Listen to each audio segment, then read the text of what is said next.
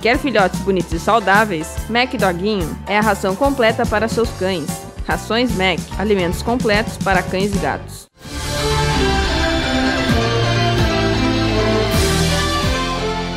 Confira agora as principais notícias da região no Expresso Regional. Os produtores rurais do Rio Grande do Sul têm até o dia 5 de novembro para aderir ao Programa de Recuperação de Créditos da CIAP, que prevê o desconto de 80% em multas e infrações recebidas até 2017. Para aderir ao programa, o produtor rural deve procurar a inspetoria veterinária mais próxima, apresentando a infração datada até o dia 30 de junho de 2017 e os comprovantes de regularização da situação que originou a punição. O Exame Nacional do Ensino Médio para Pessoas Privadas de Liberdade mudou de data.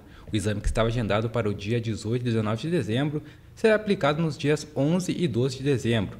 O exame é destinado a pessoas submetidas a penas privativas de liberdade e jovens sob medida socioeducativa que inclua a privatização de liberdade.